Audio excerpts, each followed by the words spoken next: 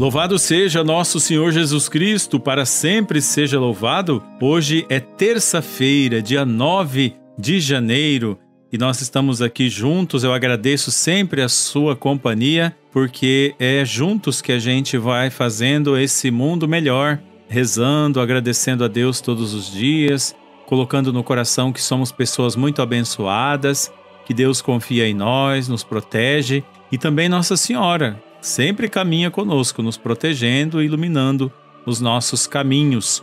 Por isso, vamos fazer juntos nosso ato de consagração. Nossa Senhora do Rocio, Rainha do Céu e da Terra, Padroeira do Paraná, nós vos saudamos, refúgio dos necessitados, por vossas mãos intercessoras, a misericórdia de Deus jamais faltou. Dai-nos a graça de sermos discípulos de Jesus na busca de vivermos a palavra de Deus.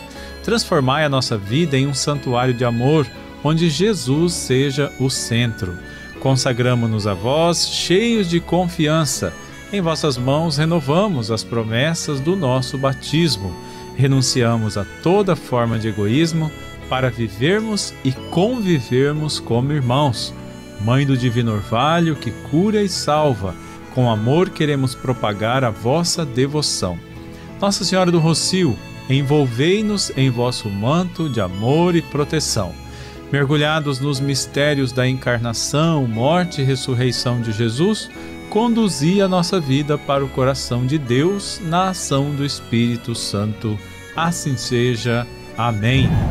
Agora a bênção da água e dos objetos de devoção. Senhor Deus Todo-Poderoso, fonte e origem de toda a vida, Abençoai esta água que vamos usar para pedir o perdão de nossos pecados e alcançar a proteção contra toda doença. Concedei a Deus que, por vossa misericórdia, jorrem sempre para nós as águas da salvação, para que possamos nos aproximar de vós com o coração puro e ficarmos livres de todo o perigo do corpo e da alma. Abençoai também, Senhor, os nossos objetos de devoção e artigos religiosos. Por Cristo nosso Senhor. Amém. O Senhor esteja convosco, Ele está no meio de nós.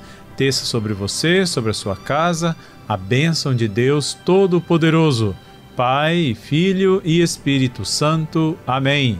Um grande abraço e fique com Deus.